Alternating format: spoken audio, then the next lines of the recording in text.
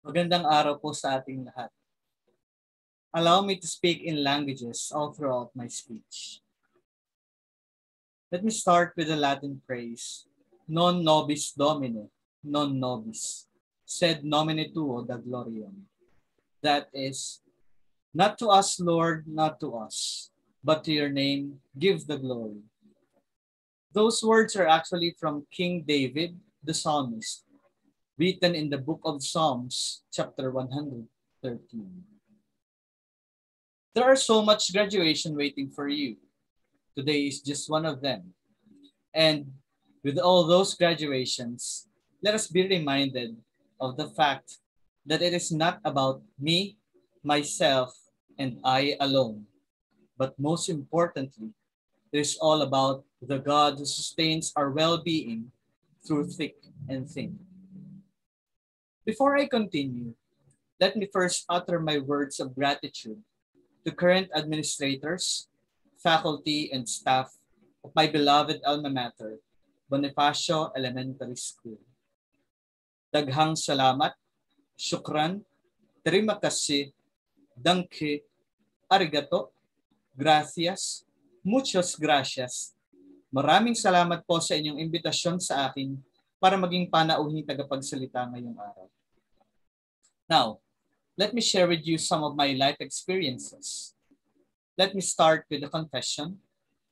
I am not a full-breed BES alumnus.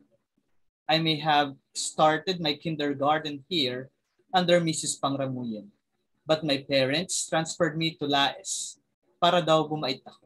Kala mo naman talaga napakasalbahe kong bata. Kidding aside, there I studied really hard. Private school yun eh, di ba? So, sayang naman ang bayad kung hindi ako mag-aaral lang mabuti. And guess what? I received academic awards at. Doon napatunayan ko na hindi ako bobo. Pero ilan lang ba kami noon? Uh, wala pa yatang sampo. But after a year there, my parents took me back here in Bonifacio for the rest of my grade school. Every year, kasali ako sa recognition day. But, uh, uh, pero, ang award ko usually ay, kung hindi A1 child, ay well-groomed. O? I never consider myself genius nor smart. I am just like any other students like you. It just so happened that I am the one speaking in front of you to deliver my speech. All throughout my basic education years, I believe that my first love is mathematics. But it turned out that language courses loved me first. This still manifesting now. Currently, I am taking Master of Arts in Applied Linguistics. Baka itanong nyo, so unahan ko na kayo. Sir bro, bakit uh, hindi ka po yata napapagod mag-aral? Ang sagot ko dyan ay, kapag nalaman mo na marami ka pang hindi alam, hindi ka titigil sa pag-aaral. When I entered the seminary, palaging sinasabi ng mga tao na napakatagal niyan, sampung taon kang mag-aaral, para kang nagdoktor. Ngayon, pwede kong sabihin na pwede pong lampas pa ng 10 years bago maging ganap na pare. Depende pa yon kung mabait ka. Ang buhay natin ay isang paglalakbay. Saan ka man dalhin, ang awi mo'y dito rin. So my dear graduates, savor your years as youth Enjoy every moment. Cherish the people around you and make memories. We are sorry for you may have been deprived of so many things brought by the pandemic. That includes your commencement exercises that we are doing right now virtually. But let us always look on the brighter side. COVID-19 did shut our second homes. In your case, the Bonifacio Elementary School.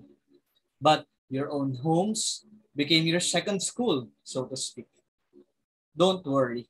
Na-experience ko rin graduate virtually on June 2020. We were called the pandemic batch of the seminary. But I also experienced the face-to-face graduation in college at Manuel Esenberga University Foundation on June 2019.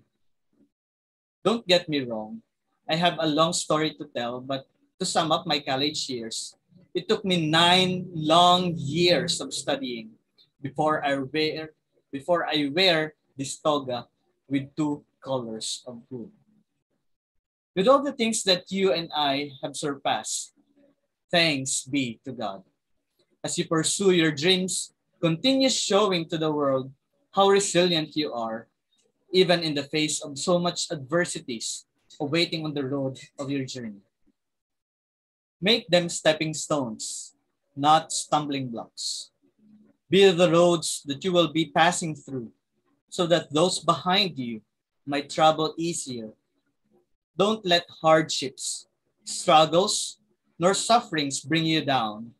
And when you inevitably fall, look back and get up to remind yourself once and for all that you are halfway of your destination.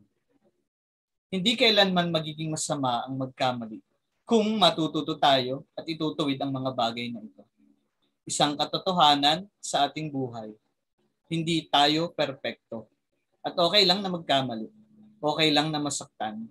Okay lang na masugatan. Pero sa kabila ng lahat ng yan, dapat marami tayong natutunan. If you came across or if you came to visit my Facebook account, there you will uh, there you will be welcomed by the Latin maxim, que nocem docem. That is in my bio. That is translated as things that hurt, teach. And indeed, ang mga bagay na nakakasakit sa atin ay makapagtuturo sa atin.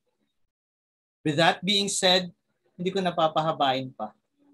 Congratulations, BES Batch 2022. My brotherly blessings to each one of you. Thank you very much and thank you Bonifacio Elementary School. Padayon, mga pag-asa ng bayan.